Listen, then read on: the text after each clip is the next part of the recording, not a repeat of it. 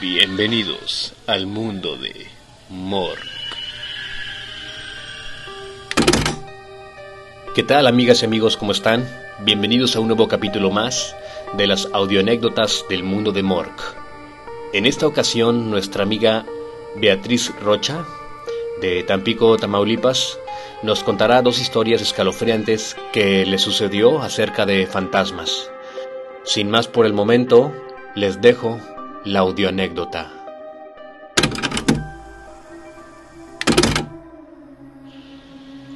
Hola, me llamo Beatriz, soy de Tampico, Tamaulipas, y les vengo a contar una anécdota que ocurrió cuando era estudiante de medicina. A veces, algunos maestros nos invitaban a hacer guardias para acreditar las materias o ganar puntos extra.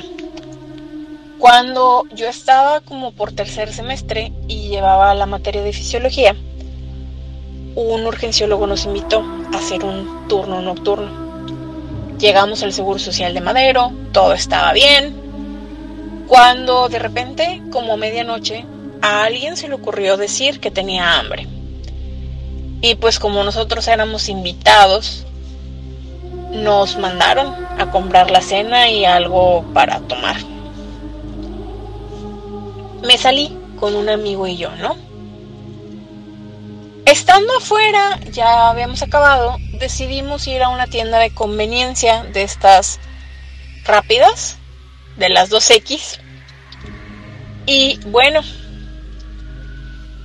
había una fila muy larga porque como esta tienda estaba enfrente del hospital, se llenaba de gente que tenía pacientes internados, o los que iban a depositar saldo, qué sé yo, ¿no? Y esperando, nos toca ver a un señor un poco desaliñado, se veía, pues sí, sucio, la ropa rota, traía sangre. Lo más curioso era su cara, porque se veía bastante confundido, como que no sabía ni qué estaba haciendo volteaba para todos lados, como si se le hubiera perdido algo. Mi amigo y yo lo vimos y pensamos que el del Oxxo le iba a decir algo.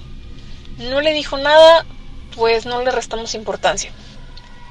El señor se caminó y se recargó en una hielera donde estaban vendiendo cervezas. Hasta eso, todo bien pagamos, nos fuimos y el señor todavía se quedó adentro del Oxxo. Bueno, a la hora de entrar al hospital ya no pudimos entrar por donde habíamos salido, entonces tuvimos que meternos por otra área. Y para eso nos toca estar por choque, que es donde están los pacientes más graves de urgencia.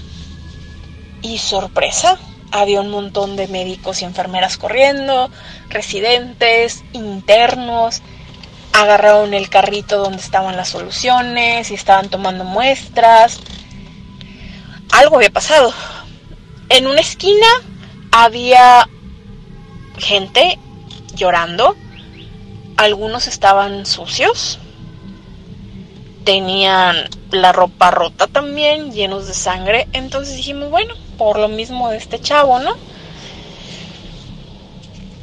¿Cuál va siendo la sorpresa?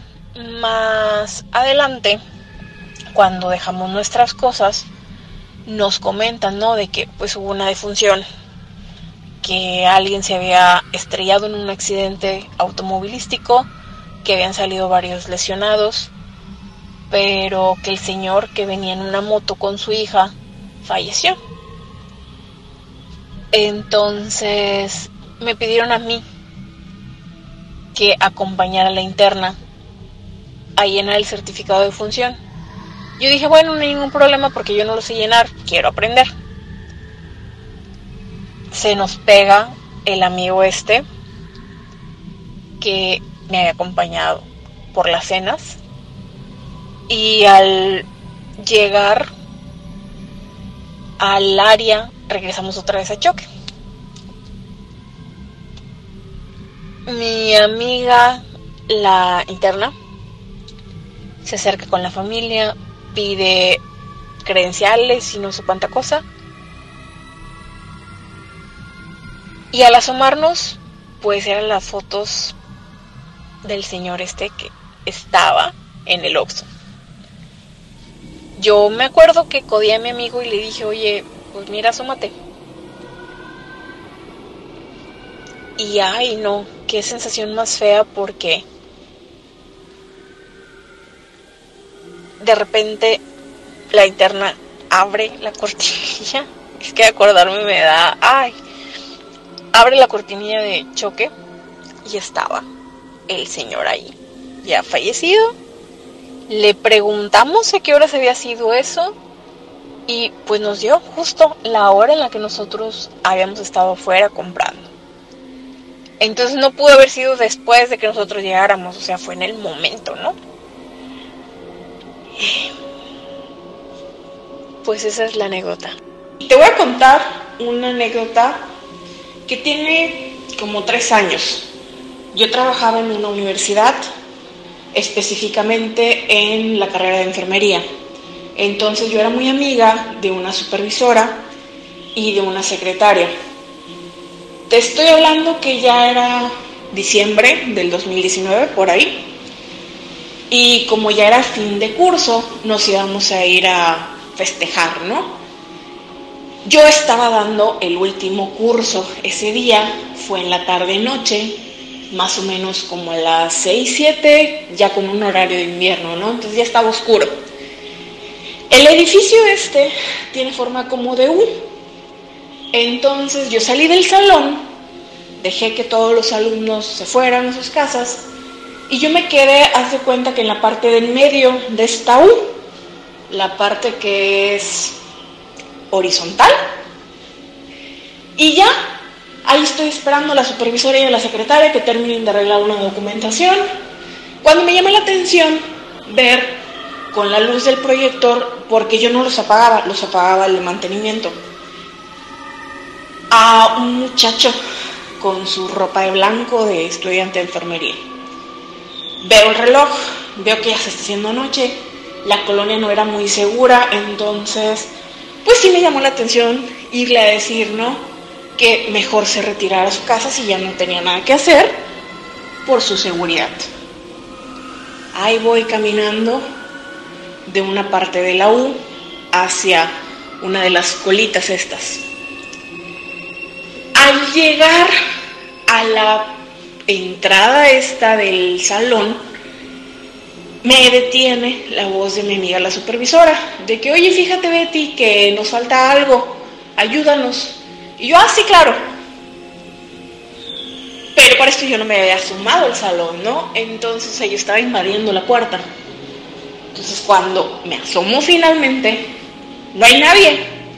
Y fue como de, no tiene sentido, porque si el chavo estuviera salido, yo lo hubiera visto hubiera pasado lo de mí, me hubiera dicho de mi chance, ¿no? Me seguí, este, un poco tratando de procesar eso, dije a lo mejor me confundí yo, fue la luz, no sé qué. Entonces me camino ya a este salón, a la, el inicio del pasillo, donde estaban las escaleras, y por ahí hay una capilla. La escuela es súper vieja, ¿ok? Entonces, pues bueno, ya estoy ahí yo. Llegan mis amigas y les digo, no, fíjense que me pasó esto y esto ya. Y dicen, oye, es que, pues no te habíamos querido decir, pero luego dicen que se parecen, estudiantes, que no sé qué. Y pensé que me estaban bromeando, ¿no? Para espantarme, porque yo tenía muy poquito que acaba de entrar a trabajar. Y dice, ah, bueno, ya, se vuelven a meter ellas a terminar unas cosas. Yo me quedo ahí, afuerita de la capilla, y de repente volteo y en la capilla una luz, que estaba apagada la capilla, entonces se prendió la luz solita. Y yo así de qué raro. Bueno, ya me giré bajo a la entrada platico con el guardia, bajan mis amigas, checaron cámaras y pues no había nadie.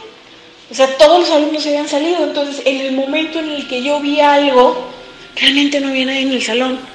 Pero sí se ven las cámaras cómo se prenden solitas las luces dentro de la capilla. Entonces, no, pues sácate, última vez que yo estuve ahí metida. De noche.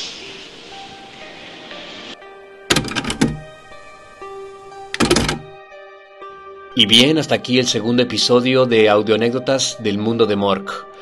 Le damos las gracias a nuestra amiga Beatriz Rocha y aprovecho para invitarlos a que se suscriban a su canal de YouTube de Tutti Frutti Podcast. Espero que lo puedan visitar. Tiene muy buen contenido, eh, variedad y un poco de todo, ¿no? Está muy interesante. Y bueno, en verdad, si ustedes quieren participar en esta sección de audioanécdotas del mundo de Mork, los invito a que nos manden sus historias, ya sea de tipo paranormal, sobre fantasmas, duendes o seres oscuros. Si ustedes se animan, envíen su audio a través del correo elmundodemork.gmail.com. Pueden grabarlo con la aplicación de su celular, en un lugar de preferencia donde no haya ruido para que se escuche bien y alguien de nuestro equipo evaluará su audio para poder publicarlo. Aprovecho para invitarlos también a que se suscriban a mi canal El Mundo de Mork y también quiero invitarlos a unirse al grupo del Facebook El Mundo de Mork. Esto es todo por el momento. Eh, les ha hablado su amigo Mork y nos vemos muy pronto en un siguiente capítulo de Audioanécdotas del Mundo de Mork. Te saluda Mork y te desea que pases buenas noches.